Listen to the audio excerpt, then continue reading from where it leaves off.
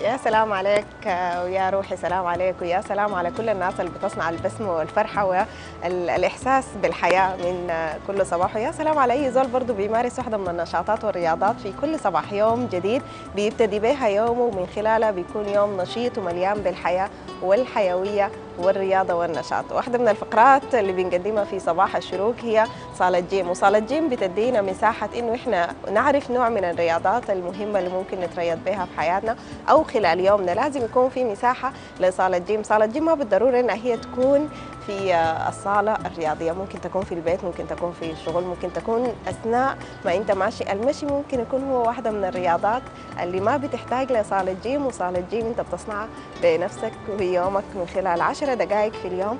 بتقدر من خلالها آه، تتريض وتمارس نوع من أنواع الرياضات اللي ممكن تتعود عليها بعد كده وتبقى هي راتبة في حياتك. خلونا نشوف الرياضة الليلة شنو؟ وخلي زول يتبناها وتبقى عشر دقائق في حياته صالة جيم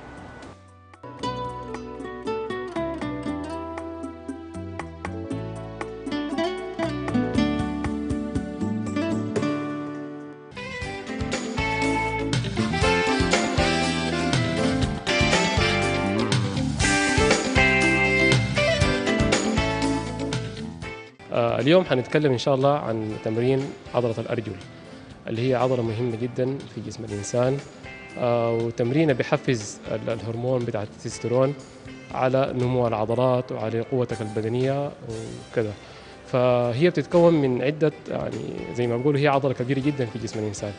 آه، بتتكون من العضلة الرباعية الأمامية والعضلة الثلاثية الخلفية وعندك القلب. آه، في ع- عضلات ال- العضلة الضامة والعضلة الوحشية بالنسبة للارجل فكلها عندها تمارين إن شاء الله. آه، اولا بالنسبة للزول المبتدئ دائما بيبدأ بوزن جسمه.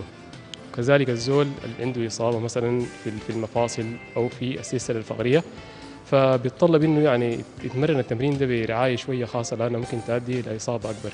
فلازم تكون تحت إشراف مدرب يتابع معك آه، نفس التمارين اللي هي المفروض تتمرنها. آه، أما بالنسبة للزول السليم فبيبدأ دائما عدد الجولات بيكون أربع جولات ما بين أربعة لثلاثه بالنسبة لمثلا آه، تمرين الخرفساء اللي هو الاسكوات فبتكون الجولة من 12 ل 8 عدات حسب زيادة أوزانك يعني في التمرين.